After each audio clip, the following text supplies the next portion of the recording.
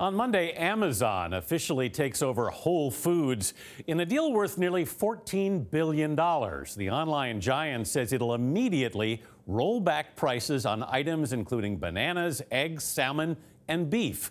For more on this, we turn to CBS News financial contributor Mellody Hobson. Mellody, lower prices on Monday sounds like the price war is already underway what I would say is they're coming out swinging and they're making it very clear that they understand in order to be accessible for more Americans, they need lower prices.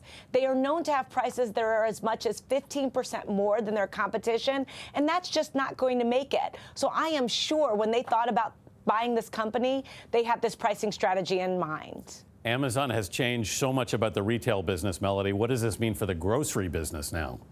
I think the grocery business is in tough shape. If you are not Walmart, which is the largest brick and mortar retailer with 20% market share in grocery, or Amazon, the biggest online retailer, which does not have a lot in grocery, but is obviously putting some stakes in the ground, you are in a much different position than those who are in the middle, stuck in the middle. Mellody, is Amazon trying to take on Walmart here?